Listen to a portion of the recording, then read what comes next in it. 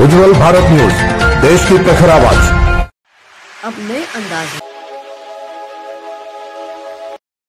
उज्जवल Bharat news team की ओर से आप सभी को गणतंत्र दिवस और वसंत पंचमी की हार्दिक शुभकामनाएँ।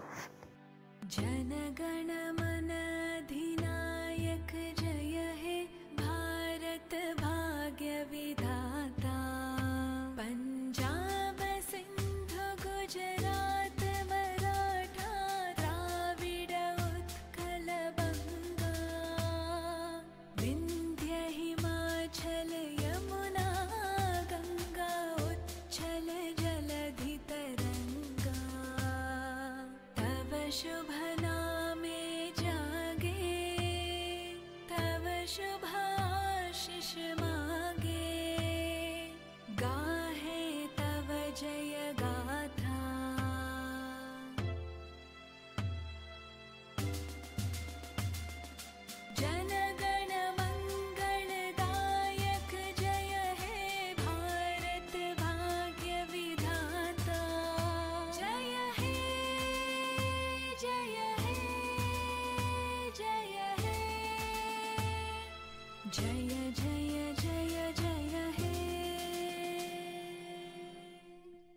आइए देखते हैं उज्जवल भारत की विशेष दिवस के शुभ अवसर पर आए हुए सभी महानुभाव जिन्होंने अपना समय निकाल करके यहाँ पे इस शुभ कार्यक्रम में पहुँचे हैं मैं उनका हार्दिक अभिनंदन और स्वागत करता हूँ। मैं सुबेदार Ganesh Chandra twenty Gujarat battalion NCC Navsari की तरफ़ से यहाँ पे पहुँचा हूँ।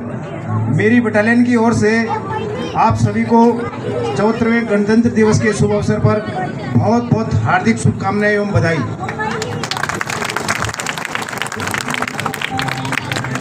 जैसा कि आप सभी लोगों को पता है, हमारा देश 15 अगस्त उन्नीस सौ सैंतालीस को आज़ाद हुआ था और तत्पश्चात हमारे देश ने अपने एक अलग संविधान की संरचना की थी। इसके मुख्य रचयिता डॉक्टर बाबा भीमराव साहब अंबेडकर थे।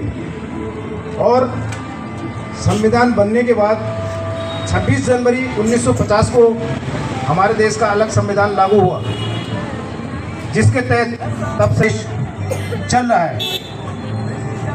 हमें उन शहीदों, उन सभी स्वतंत्रता सेनानियों, देशभक्तों का हार्दिक दिल से अभिनंदन करना चाहिए। जिन्होंने इस देश की स्वतंत्रता के लिए अपने प्राणों की आयत दी, उसमें सारे सैनिक, आम जनमानस बहुत खुशी होती है जब कोई किसी प्रकार से बंधन से मुक्त होता है और आज आज आज हम स्वतंत्र हैं। ज़्यादा ने कहते हुए, मैं और मेरी बटालियन की ओर से आप सभी को चौहत्तरवें गणतंत्र दिवस की हार्दिक शुभकामनाएँ और बधाई। जय हिंद, जय भारत। धन्यवाद, सर। चौऱ्याहत्तर. सगळ्यांना मराठी येते ना? हाँ.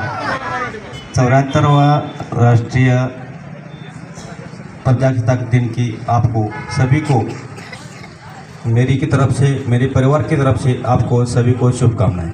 जय हिंद, जय भारत।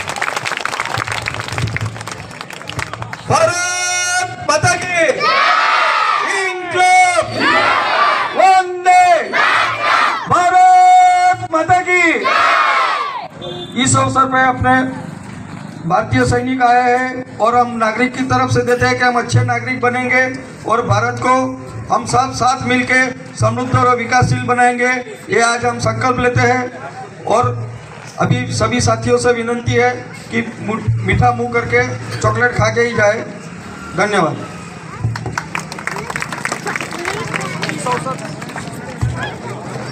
जय हिंद साथियों।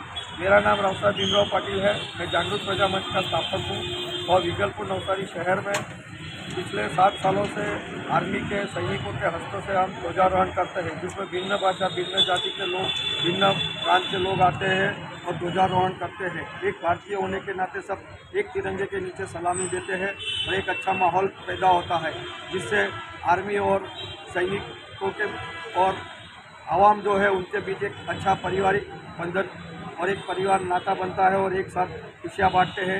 ये प्रोग्राम अच्छे तरह से होता रहेगा और सबका अच्छा भला होता रहेगा। इसी कामना के साथ ये प्रोग्राम किया जाता है। भारत माता की जय।